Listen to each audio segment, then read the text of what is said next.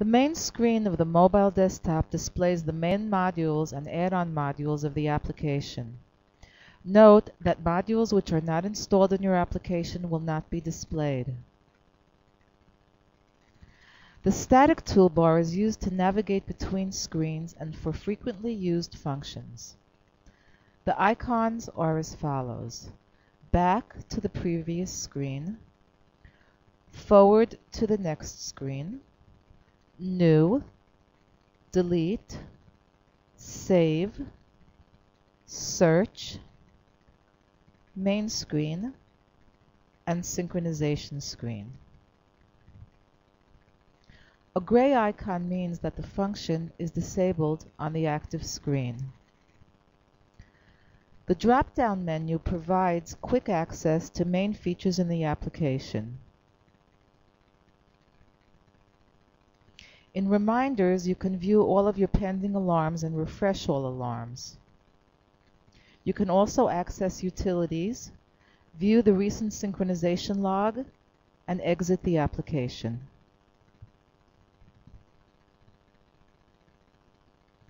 The Business Partner module contains a list of business partners. Colors may be used as codes to define business partners. Tap on a business partner name to open the master data.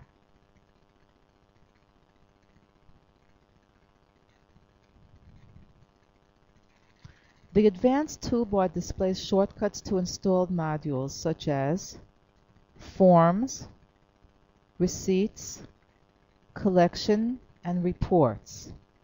The Create Document icon is a shortcut to create a new document. Labels or fields highlighted in red are required information. Tapping on a text field opens a keyboard. A down arrow opens an options pick list.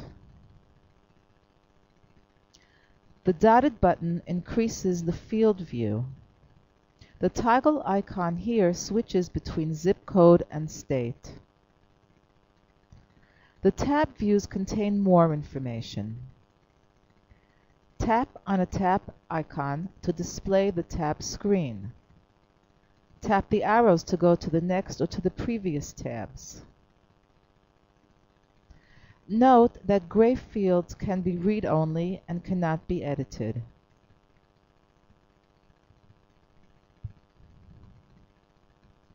The Contacts module contains a list of contacts. Tap on a contact name to open the contact master data. The Address tab displays the main address entered for the business partner.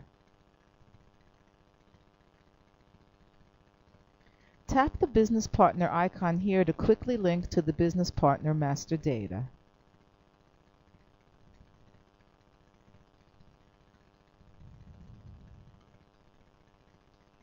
The Sales AR module contains a list of saved documents.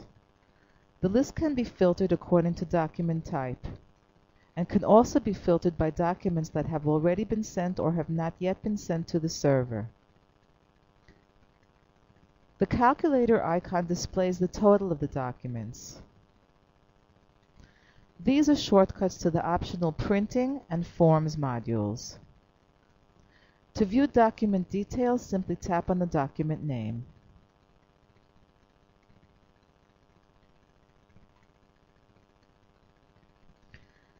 The Activities module contains four main screens and opens to the daily schedule. The All Activities screen displays a list of all your activities. The Weekly calendar displays weekly activities and the monthly schedule displays monthly calendars.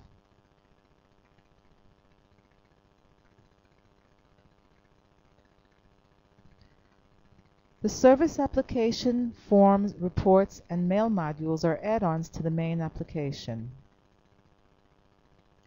The Forecast module is used for pipeline management. It contains a list of saved sales opportunities and their assigned probabilities. To view opportunity details, tap on an opportunity. Mobile Desktop provides an editing tool to enhance viewing. Tap on the column heading to open the editing tool. The up arrow sorts the list in ascending order. The down arrow sorts the list in descending order. The double arrow increases or decreases the column width. The refresh icon refreshes the screen. The switch icon interchanges between columns which have a black tab at the bottom corner.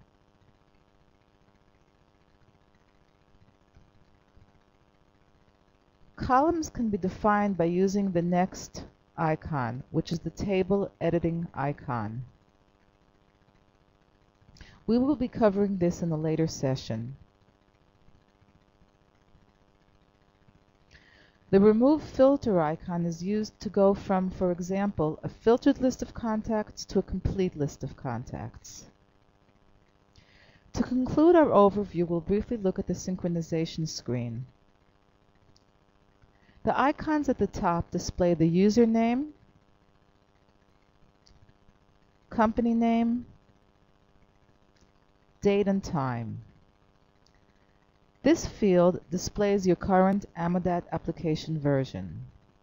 Use this screen to send and receive data to and from SAP Business One, to send data, to define sync profiles, and to set up communication and user authorization. Tap Start to go to the main menu.